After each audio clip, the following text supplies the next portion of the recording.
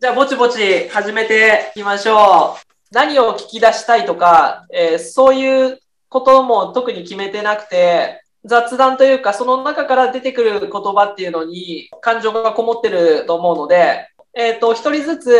えー、こういう手応えを感じているとか、逆にまこういう不安があるとか、えここまでのなんか振り返りを一言ずついただきたいなと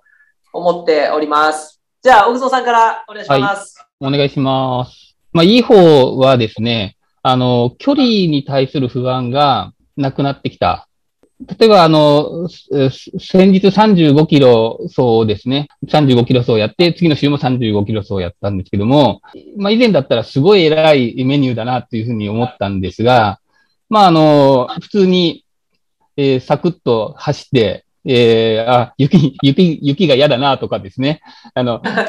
天気予報によるとあと30分で雨が降ってくるんだろうなと思いながらですね。まあそういう、えー、ぼーっとしながら淡々と走って終わって、まあ終わった後も、あの、まあ翌日はさすがに重たかったんですけども、まあそれを火曜日からのメニューも普通にこなせるたっていうような形で、えー、まあ、距離に対する不安がなくなってきて、で、途中で出たフルマラソンもですね、まあ、ペースは遅かったんですけれども、昔、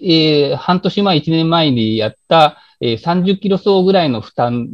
疲労度で終わってですね、あの、サクッと練習終わったなっていう感じで、まあ、距離に対する不安がなくなったっていうのが、今回のあのメニュー通しての、あの、すごい手応えです。不安の方はですね、え、実はその4日前の練習の30キロ走の後に雨に降られちゃってですね、えー、十分なケアをできないまま慌てて家に帰るという失態をしてしまってですね。で、ちょっと今足を、足の付け根の内側を少し痛めているので、ちょっと走ると痛いっていう状態になってましてですね。で、まあ、ケアを今一生懸命やってるんですけども、ちょっと今週のメニューはこなせそうにないっていう初めての状況に今落ちていて、で、大会まであと2週間半、ここであの練習のペースを落としてしまって、今まで積み上げてしまったものが崩れてしまうんじゃないだろうかっていう不安があったりですね。ただ、無理してやると、スタートラインにも立てないんじゃないかとかですね。まあそういう焦りをちょっと今感じているところが、今ネガティブなところです。以上です。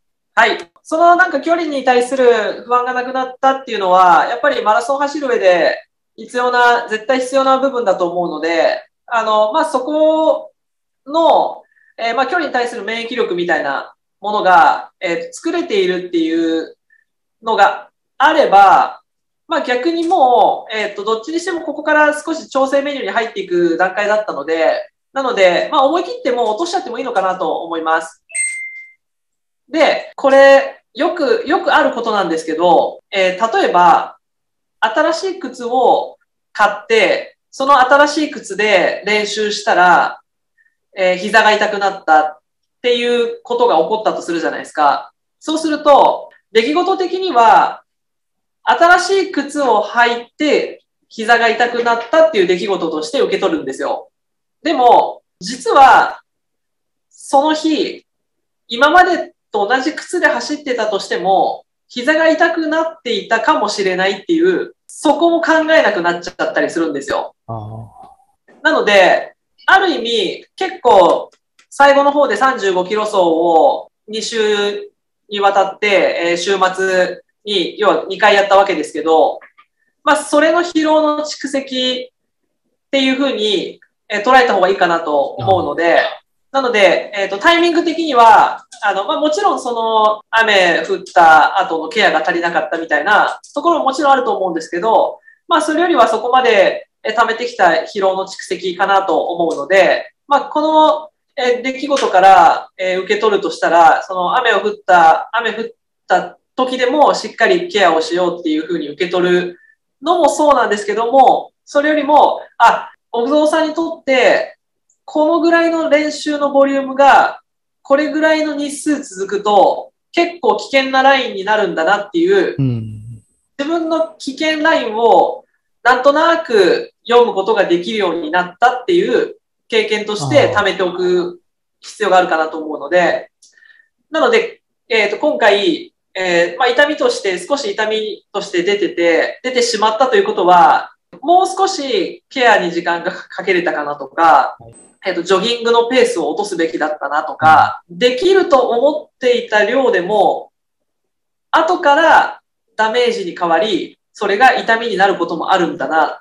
みたいな、なんかそういう経験値のえ蓄積ができると、今回のその今起こっていることは無駄なことではなかったなっていうふうにできると思うので、なるほど。なので、あの、起こった出来事の分かりやすいところに、えっ、ー、と、原因を持っていくと、なんか分かりやすくてスッキリはするんですけど、もうちょい違うところにもあるんじゃないかみたいな、あの、ところの視野も必要なのかなっていうふうに思うので、ちょっともう一回振り返ってみて、え自分にとって危険なラインで、えっ、ー、と、じゃあ、3週間前ぐらいから振り返ってみて、もう一度この3週間をやり直すとしたら、どこのジョギングのペースは落とすべきだったのか、どのケアが足りなかったのか、その考えをするときに、と月間走行距離みたいなものにはこだわりたいと思ってたので、なので、走行距離を減らすというやり直しはなしにして、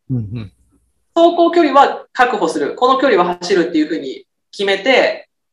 じゃあその距離を安全に走り切るためには、どこのペースが余分だったのかとか、なんかその辺を振り返れると、次にも活かせるかなと思うので、はい、自分のこの今の、えー、小久さんのギリギリライン